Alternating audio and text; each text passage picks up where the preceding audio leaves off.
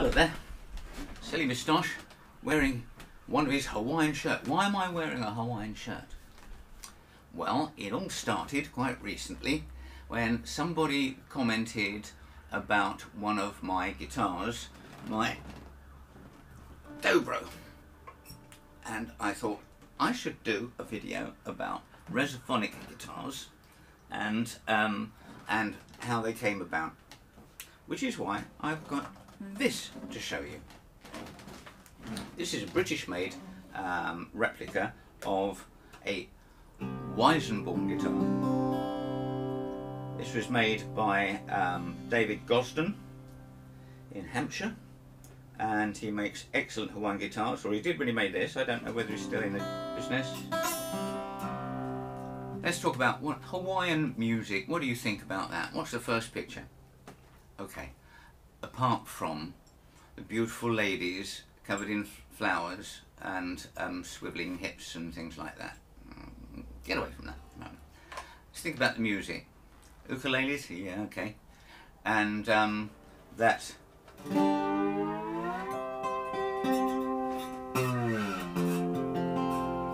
that sliding guitar effect. Various stories about how this developed in Hawaii.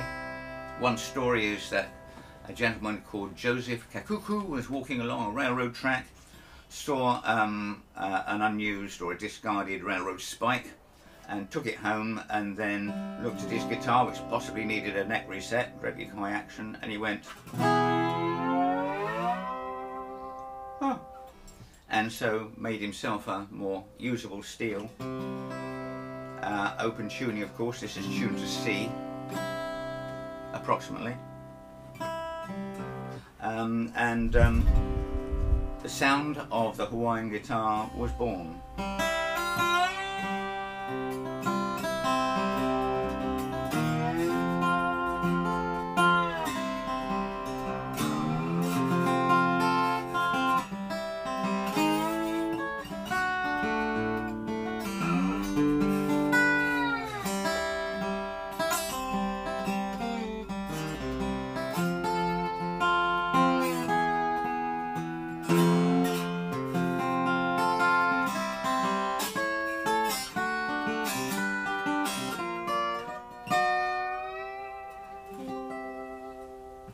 Something like that. Um, the originals of these were made in um, uh, from about 1923, but I should go back a little bit. Hawaiian music was a fairly localized thing in the islands um, until about 1906. Recovering from the San Francisco earthquake, uh, there was a large exhibition held, and, um, and they invited representatives from all the countries in the world, World Exhibition, come along and um, Hawaii was included as an independent country then um, and uh, they had musicians playing Hawaiian music all the time. And from there, the fashion or the craze for Hawaiian music spread across um, the USA and further afield into Europe and everything. As a music form gets popular, the audiences get larger. That means larger venues, that means more need for volume, for sound. Um, so Hermann Weissenborn, a German gentleman, um, redesigned guitar to project more and um, and his version was although it's a rather thin body there are deeper version deeper bodies around but the neck is completely hollow, so there's an awful lot of resonance in there. Now, it's not the ideal um, design, but it was a very popular design, and um, it disappeared in, within the 20s pretty much, although he made in small numbers up until 34. Um, but uh, you will have seen this more recently um, by, um, oh, what's his name? Uh, Harper, um, Ben Harper, and that brought it to my attention again. But I bought this because I was playing in a duo where we were playing 20s and 30s stuff, and uh, with not a little influence from um, Leon Redbone, bless him. And so um, I was playing this with two friends for a while. And that's your Hawaiian guitar, but it wasn't loud enough. And we still hadn't got to magnetic pickups and things like this. 1923 that started, they, they were being made, uh, usually out of koa, which is a Hawaiian wood. Uh, that one was all mahogany. I don't know whether the wood is very, very particular to the sound. Um, one of the guys working in Weissenborn small factory was a guy called John Dopyera, a Slovakian gentleman who, with his brothers, came over to, went over to the USA um, in the early 1900s and started working as carpenters, I think, in New York. And then when the San Francisco earthquake of 1904 hit, uh, they went over there uh, and um, made good with their carpentry work, um, fixing up uh, damaged buildings and things. When that had been all sorted out, they moved down to, uh, I believe, Los Angeles, and they went back to their ideas, or at least one of them went back to their idea of reinventing a louder violin. And one of the things, one of the influence was um, uh, using a resonator that was used in pre-electric gramophones, which was basically an aluminium cone that was irritated by the noise of the needle transferred somehow, and then shot out through a great big ear trumpet, or trumpet, I should say. Um, and then he met up with a guy called George Beauchamp, who was a performer and a little bit of a wide boy, a little bit of a commercial um, minded guy, and he said, I want you to build me a guitar that would be really loud, and, uh, and I can play Hawaiian as well. So a company called the National Guitar Company was formed, and they made metal bodied guitars with three small aluminium cones. And it was called, strangely enough, the tricone. Now, you might have expected me to be sitting here with a tricone. Uh, I've never owned a national tricone, um, but these three cones were linked together with a T-bar and across the T-bar was a bridge where the strings exerted the tension on it and that excited these three cones and they um, played into into the metal body and it was very very loud it designed for Hawaiian guitarists and also for Hawaiian style guitarists I should say and also for um, uh, guitarists in jazz bands and dance bands. Very loud and very heavy. They brought out another style, which was the single cone, and again, I'm sorry, I don't have a metal bodied. I had a beautiful Stylo Deluxe metal bodied, which I swapped for this wooden bodied one because it sounded beautiful, but it was too loud and it was too heavy, and I got backache after playing it for five minutes. Um, so they made tricones and single cones working on the same basis. This has a cone which faces into the instrument, and on the top of the smallest part of the cone there is a round piece of wood with a saddle across it. And so that's called a biscuit. And they made these for, again, dance bands and to be played in a Hawaiian um, style. Uh, about 19, late 1920s, everything was changing very, very, very fast in those, at those times. Um, and then Mr. Dopyera fell out with George Beauchamp and went off, uh, gave up all his rights to the business and went off and formed another company with his brothers. And the company was called dobro. As with many Eastern European um, languages, dobra means good. Um, so it was good, and it was the brothers, dobro. It was a very good um, trading name. But George Beauchamp and company had the patents on that style of cone, so these invented a slightly different one. This cone is facing out. Um, and so um, it's seated with the, um, the, smallest part of the cone in the back of the machine, um, back of the box, radiating out, and um, the bridge sits on a piece of aluminium called a spider, which is rather strange because it's only got six legs. But it's still in a very basic body. Both of these are solid laminated boxes. there's no acoustic properties to the um, to the body to speak of. Square neck. Um, it's never going to be played other than horizontally. Now both of these designs were coming and going and um, and uh, all really focused about Hawaiian music. And by the time these things came out, everybody lost interest in Hawaiian music, and those that did moved to the electric steel guitar, which was basically a slab of wood with strings strung across it and a magnetic picker. And you know the rest with that.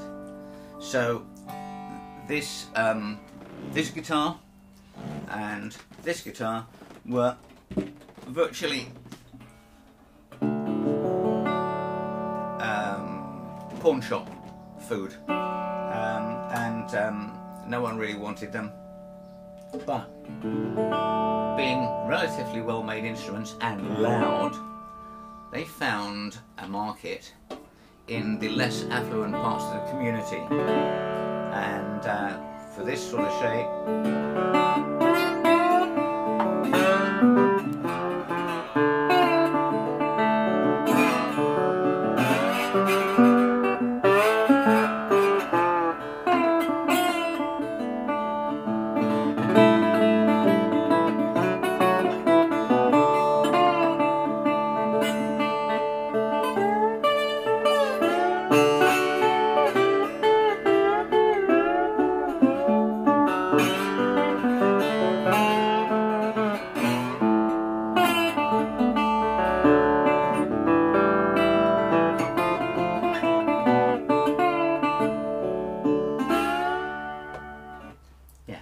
Blues. So you could pick these things up cheap, they were loud, and um, and so they, they found that other market. For the Dobro, with its square neck, and they did round neck and square neck versions, all, all of these, um, this was a bit sweeter sound.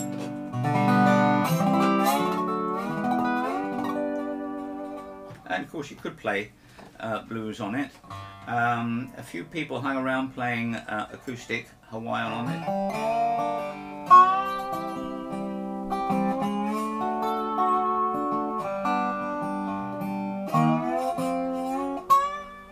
But um, strange place, it found a home in country music and bluegrass. Um, Bill Monroe, the father of bluegrass, never accepted a dobro as a bluegrass instrument, but um, uh, uh, Flatt and Scruggs did, uh, and um, so it became a fundamental part of a lot of bluegrass bands, and I'm grateful for that. And um, it was somebody that remarked on this instrument in another video that made me think about putting this together. Uh, the story for this guitar um, was uh, rather interesting because it belonged to a good friend of mine and we used to sit and play in here together. And um, I always loved the look of this particular dobro. Mine was much more basic, much more plain, but it sounded perfectly fine. Um, and uh, then my friend George started getting seriously ill. And um, uh, one day he said to me, we both know that I'm never going to play dobro again.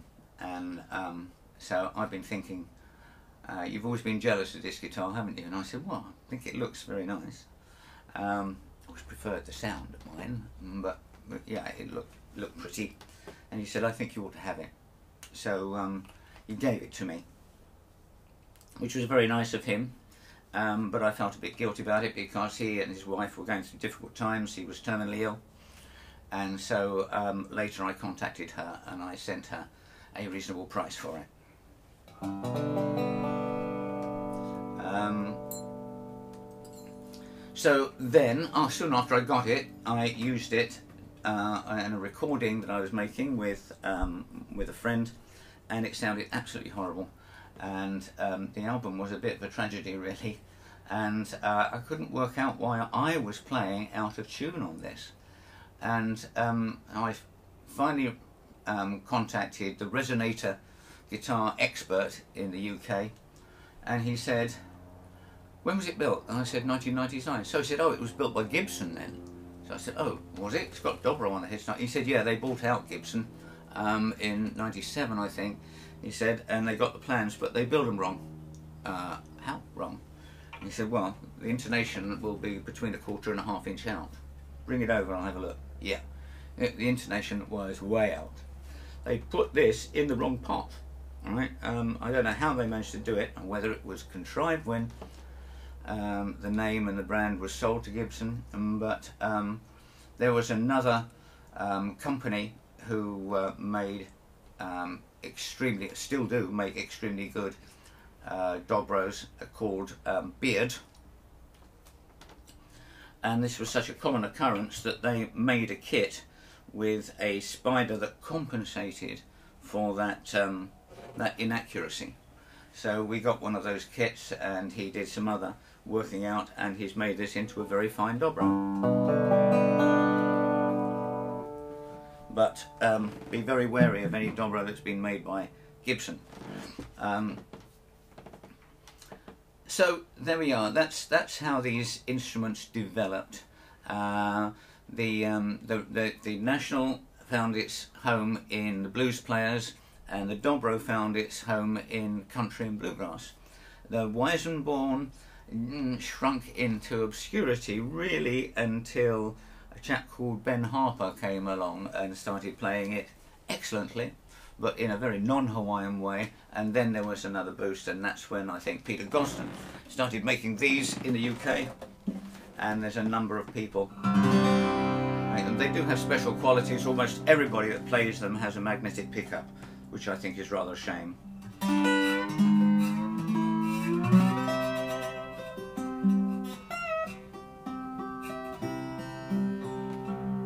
But there you are, slidey guitars. You'll notice that I didn't play an electric style. I don't do that. Anyway, if you have been, thank you for listening, and uh, I hope that was of some interest to you. Much more accurate history on the uh, Hawaiian guitar and the steel guitar things available online and elsewhere. And um, the people who are making national guitars now call themselves the National Resophonic Company, and they're also based in, um, I think, San Luis Obispo in, in Southern California. And they got lots of plans from one of the surviving Dopyera um, um, brothers or family and uh, with the help and research for a chap called Bob Bob Brozman, who also revived the um, the interest in uh, in resophonic guitars. Uh, they they reformed a company, and their instruments are probably of better quality than the originals. That's a personal opinion, um, but anyway, I hope that's of interest. And uh, well, thanks for watching. Bye.